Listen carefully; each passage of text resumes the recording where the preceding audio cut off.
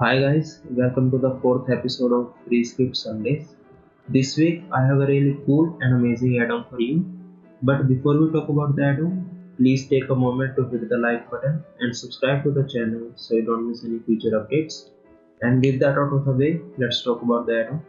The add-on is called Quick Roughness Layers and it allows you to quickly add and mix roughness maps in the form of layers. So let me show you how it works inside Blender. So I will be using this metal sphere as an example. So let's add some roughness to it. Let's first add some scratches.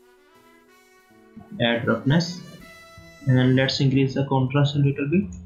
Now let's limit the scratches to just the bottom of the sphere by using the Z mask.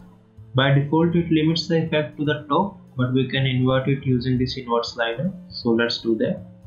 And as you can see the scratches now appear only at the bottom of the sphere let's increase its height by using this reach slider. And now let's add some dirt to the top of the sphere. Let's choose this map add roughness. And let's limit it to the top by using the Z mask.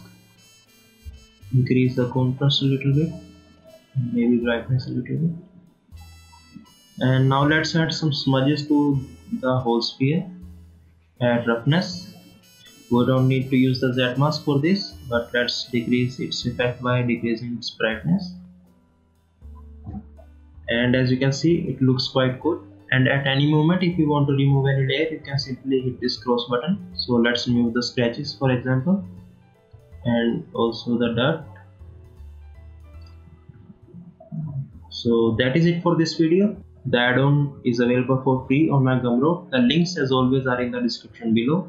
So go check it out and I'll see you in the next one.